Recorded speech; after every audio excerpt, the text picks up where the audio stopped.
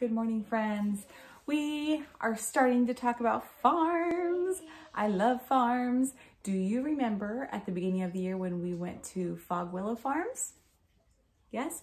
Do you remember seeing sheep and pigs and we even saw rabbits and hens that were laying eggs? Do you remember all those wonderful things? Yeah. All right, well, I am missing this time of year, making our whole classroom into a big farm and all the fun projects. So today we are going to read a story called Ping Pong Pig, funny, by Carolyn Jayne Church. This is a fiction story. It is a, a fantasy story. We're gonna read this story together. And I also want you to get out your green book. Looks, looks just like this. Just a green book. Inside are blank pages. I would have loved line pages, but I didn't have time to get them ready for you. I wasn't able to go make copies, so we have our blank pages. So you're gonna need that book and your listening ears. Are you ready? Okay. All right, the story is called Ping Pong Pig by Carolyn Jayne Church. And this is our cover. There's our spine, has a little bit of information. It's really teeny tiny. Can you see it? It's so teeny, the writing. And then the back cover, definitely taking place on a farm. Look at all those farm animals. All right, let's see. Look at that.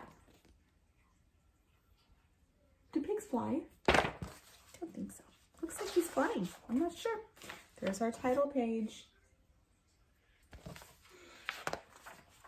Okay, here we go. Are you crisscross? Yes. Do you have your looking eyes? Do you have your listening ears?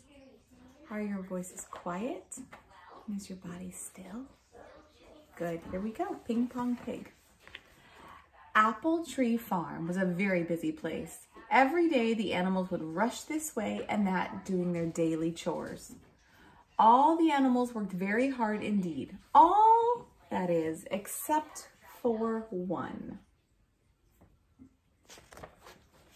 Ping Pong Pig was far too busy doing his own thing. He spent all of his time trying to fly. He leaped over logs, wheelbarrows, and barrels trying to jump higher and higher. One day I will be able to fly, he told the other animals. Pigs can't fly, Ping Pong, they sighed. Ah.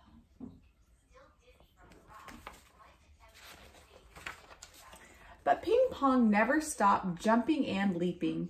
He managed to ruin the apples, spoil the new paint on the barn, free the bees, and knock over all the hay. The other animals decided that something had to be done. They gathered together for a meeting in the barn.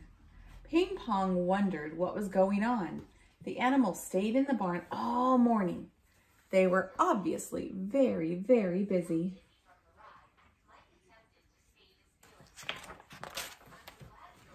At last, the barn door swung open and the animals came out.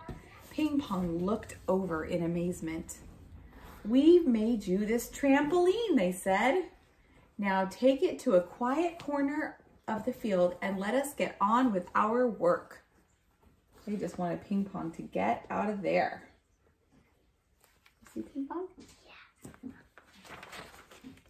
Ping Pong climbed aboard the trampoline. He jumped and he bounced and he bounced and he jumped. Whee! I can fly, he squealed. But pigs can't fly. Ping Pong, the animals sighed as they went on about their work. Ping Pong Pig was having the best time ever. Sit down, goofy girl. But then he stopped to think a little. It was so kind of my friends to make me this present. Perhaps I should help out a little more as a way of saying thank you. So he decided to put his trampoline to better use. Hmm, I wonder what he's to do. He's thinking of ways to be kind to his friends now. He picked the apples, he caught the bees, he repainted the barn, and he carefully stacked the hay. Look at that. He's doing all those chores and being helpful all while still bouncing. Much to his surprise, Ping Pong rather enjoyed helping out, and his friends were delighted. No more trouble from Ping Pong Pig, they all said, until something caught their eye. High at the top of the old apple tree, they noticed something rustling around. And that was ping pong. You think? What's your prediction? It was Ping Pong Pig! Look, shouted Ping Pong as he leapt to the branches. Pigs can fly. No, Ping Pong, cried the animals. Look at that. That is a crazy illustration.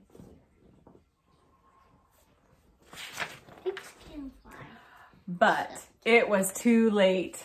Splash! Look at that. Ping Pong landed in the middle of the pond. Wow, fish can fly too, he giggled.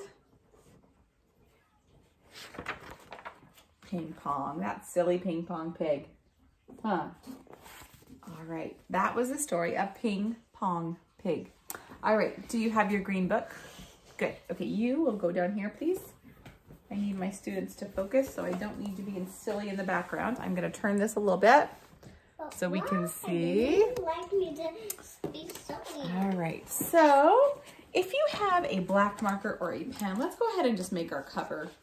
All right, let's, so we're gonna turn it. The spine is at the top and we're going to write my farm book. Okay, we're starting with MY. My, capitals, it's a title, farm book.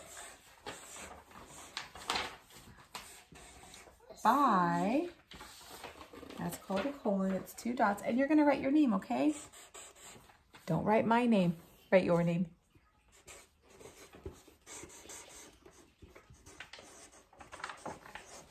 Mom, is it okay if I can read this book? Absolutely. My Farm Book by Mrs. Miramontes. If this was Anaya's book, it would say My Farm Book by Inaya, right? Okay. All right, so first page, I'm gonna go ahead and fold it back. Whoops, let's see here, get it right. Here we go. Okay, we are gonna do a quick directed draw. Now, if we were in our classroom, I would we would make this out of pink paper, but since we are not in our classroom, we are gonna have to do it this way. I'm gonna get closer. Okay, perfect. That's good. Here we go. Okay, so we are gonna make a pig and we're gonna label a pig. So I want you to pay attention to my paper.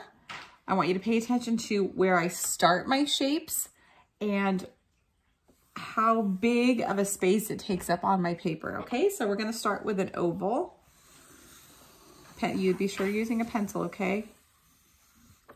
There's an oval. So it almost takes up the whole page, right? Okay, let's make some feet. I'm gonna do a line like that. Okay. You can kind of go back and erase. Remember, directed draw, so we just keep on.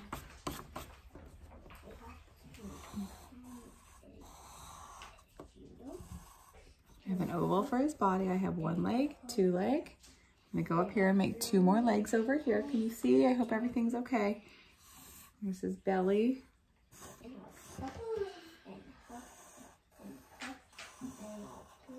There's a leg. And then we're gonna do one leg over here. And then he's got his, so one, two, three, four, Nina, one, two, three, four legs. We have a body. This is his back, so we're gonna make his tail here. You know, um, pigs have a little squirrely tail. So we'll just go like this. That's my tail. He's cute. I think he's cute. All right. So we have a tail, we have a body, we have one, two, three, four legs. We're gonna go ahead and make a face over here. So it's a circle shape. And then we can just go back in and erase that one. Pigs uh, two ears, just like we do. Ears are a little pointy. Okay, yeah, that might be a little too pointy. Remember, if you make a mistake, just fix it, cross it out, or go back in. Pigs have two eyes. Go ahead and color in those eyes like that. Mom, And we need a snout. everyone has two eyes. Even. And go ahead and let's just make a happy face just for fun. How's that? Cute little piggy, huh? All right, so here we go. You ready for labeling? Yeah, okay. All right, what is this again?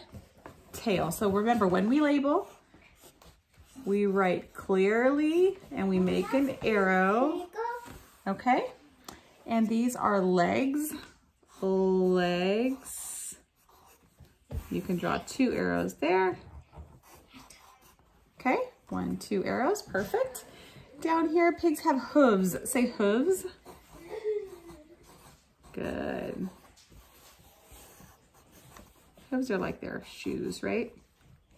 All right, this is called a snout. Say snout, and it kind of sticks out a little bit on their face. So I'm gonna put my arrow there and I'm gonna write snout, Snap. snout. This, we're just gonna write here, it's gonna be body. Body. Okay. How many ears do they have? Yep. Two. Yep. Ears. There we go. I know I'm going fast, but you can always pause the video, so don't feel too rushed, okay? And how many eyes do they have? Yep, I'm gonna write that right here. And put a little arrow. Perfect.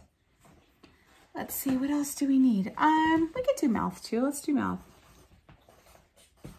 Mouth. Okay. All right. So this is the beginning of our pig project. So we are definitely going to need to do a little bit of coloring here. What color are pigs? Like pink. They can be pink. They can also be brown and white. And they can be black even. So their hooves are going to be darker. So go ahead and color their hooves darker. And you know how I usually like to outline things because it makes it stand out and just makes the picture a little more detailed. And we're always working on details, huh? So I'm just outlining in black. You're gonna color the pink? Sure. Why don't you, uh, let's see here. I got some light pink because pigs, because I usually see light pink on pigs. That's what you usually see? Yeah. Okay. I didn't know they could be brown. They can, yep. Cats can be brown. I'm just tracing over everything, okay? So when you color, try not to color too dark because you don't want to um, color on top of your labeling because that's hard work to do that good labeling. That's good detail. And can they see me color? Yeah, can you go ahead? Can you switch in? Yeah. All right. Well, Let's see, let's go like this.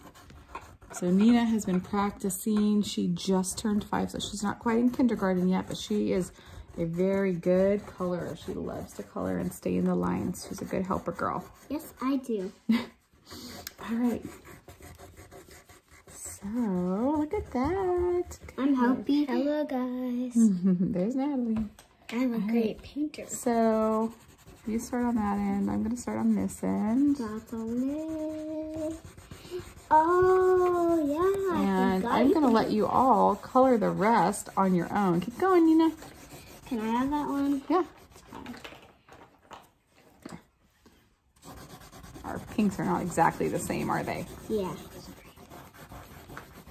Did that Mine curly tail. Oh man, I love a curly piggy tail. So cute. Hi Natalie, thank you for helping.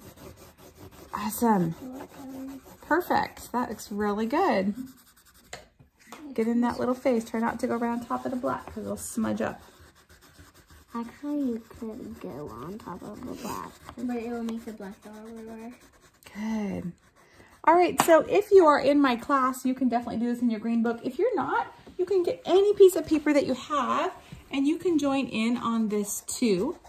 So this is our pig story and directed draw. Tomorrow we will be doing um, a pigs can have are chart and we also will be doing a pigs writing. So don't forget to come in, come back for that. All right. And also, I will be coloring the pigs. Oh, Nina says she'll be coloring the pigs. All right. Goodbye, everybody. Thanks for talking to pigs. Oink, oink. Wow, you should have got